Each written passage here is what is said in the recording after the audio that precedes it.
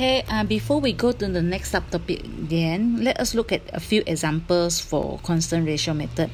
Sebab dia, dia ada beberapa jenis cara untuk tanya soalan. So, let us look at example 8.6, okay? Example 8.6 here. Zaleha purchased 800, 8,000 piano train installment plan. She have to pay 2,000 down payment and 18 money payment of 360 each.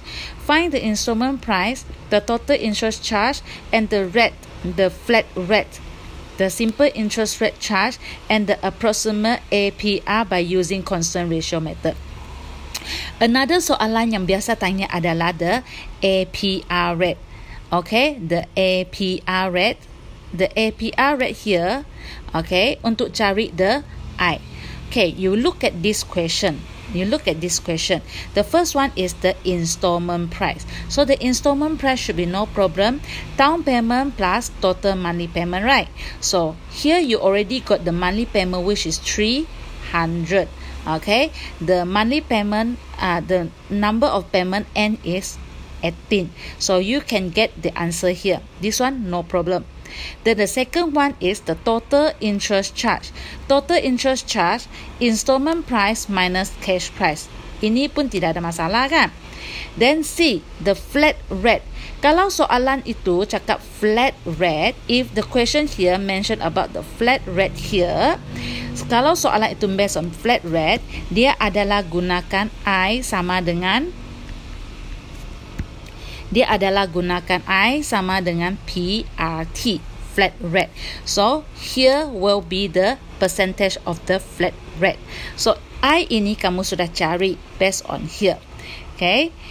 And plug everything in the formula here. P ini adalah the original balance. T ini adalah the the uh, number of payment. Okay, berapa bulan? 18 bahagi dengan 12. Okay, you got this flat rate. D ini adalah approximate APR rate. Kalau APR rate based on constant ratio method, dia adalah untuk cari uh, the R ini. So this is the APR rate. So here find out 2 ini memang dua lah. The M ini is either 52 atau 12. So based on the question here, dia adalah cakap based on 18 monthly payment. So M ini adalah 12.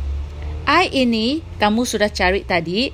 The total interest total interest here is 300. Masukkan saja. B ini adalah the original balance 600. Eh sorry 6000 NT. Okay, so the APR rate here is 6.32. Okay, so this is one type of method. So R ini kalau based on constant ratio method, dia akan suruh kamu cari the APR rate. So let us look at a different type of question again. So 8.6, uh, 8.7, sorry, 8.7. Rosma purchased a 4,000 computer. She has to pay 2,000 down payment and 20 weekly payment, okay, of 110 each. Find the approximate effective rate. So APR rate, approximate effective rate, that is charged by using the constant ratio method. Kalau approximate effective rate, dia sama dengan APR rate. Kalau APR rate, you have to use this formula. R sama dengan 2MI divided by B N minus N plus 1 sorry. Okay? So M ini sekarang you have to be careful. M is is either 5, 52 atau 12 but here is based on weekly. Jadi M ini adalah 52 so I ini adalah the total interest charge right So the total interest charge, total interest paid, yeah, you can base on this. Okay, the total interest is you can base on this whereby 110 times 20 tolak dengan the original balance. Tolak dengan original balance, then you can get the total interest charge. Okay, then bahagi dengan bahagi dengan the original balance is 2000 Okay, the n is 20 plus 1. So the APR rate is 49.52%. Okay, 49.52%. Okay, now let us look at this question. Okay, let us look at this question again. I clear everything first, huh? Okay, example at point at. Example at point at. An electric guitar is priced 300 cash and the cash purchase is entitled for 10% discount. The guitar have purchased for 50 down payment and 13 weekly week for 20 weeks, 13 ringgit a week for 20 weeks. Find the approximate effective rate charged to in, to the installment buyer by using the constant ratio method. Okay, so the cash price here is 300. A cash purchase is entitled for 10% discount. So from here you uh, you kena cari what is the true cash price. Kalau kamu gunakan cash price, dia ada 10% kan? So here you have to find out what is the true price. Either you can use new price sama dengan L satu tolak dengan A, which is 3000 eh 300 satu tolak 0.1, which is 270. okay 270 installment price here you can find out the installment price is 50 plus 50 plus 13 times 20 so here installment price dia gunakan down payment plus total monthly payment. Okay sorry ya.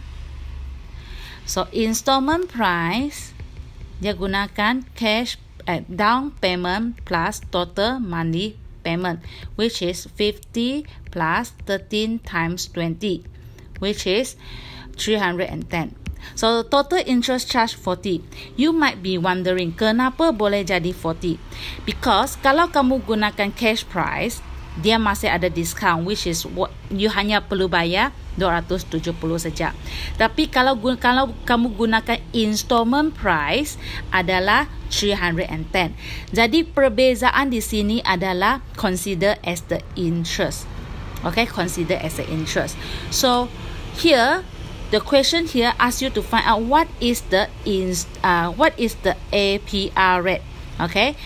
This question kalau compare dengan tadi punya question, this question ada confuse sikit sebab dia ada the discount. 10% if you purchasing by using the cash. So you have to take uh, you have to consider that the perbezaan antara the installment price dengan cash price is considered as the total interest charge. Okay, total interest charge. So from here you plug everything in the formula, you can get the answer here. Okay? So here the confusing here is only here. Okay? The confusing here is the 10% discount. Okay? Remember that interest total interest charge interest charge okay sama dengan installment price minus dengan cash price. So cash price ini adalah the exact cash price. Kalau dia ada discount you have to tolak dengan discount. Okay? So let us look at this question. Okay let us look at this question. Uh, it's a different type of uh, uh, method of asking. The hi-fi set is listed at 100 cash through an installment plan in which you have to make six monthly payment so and here is considered as six monthly payment. The interest is 10% per annum simple interest rate by you in simple interest. By using constant ratio method, what is the approximate effective rate? APR rate. APR rate charged by the dealer. Okay, so from here, bila kamu tang tengok APR rate, you mesti ada M right, you mesti ada I. So from here, you can find the I first, whereby dia cakap 10% per annum simple interest rate. Okay, 10% per annum simple interest rate. So now you can use PRT to find out the interest first. Okay, so about 10% per annum simple interest rate. So P here is 800. The simple interest 0.1 and the T here is 6 monthly payment, 6 over 12. Okay, so you can get 40. Then the question here would like you to find out what is the APR rate. Plug everything into the formula 2, 12, 40. So 12 is either 52 or 12. So dia adalah cakap based on monthly. Jadi M ini adalah 12. Then I ini total interest is 40 divided by 800 6 plus 1. So you get the answer here. Okay?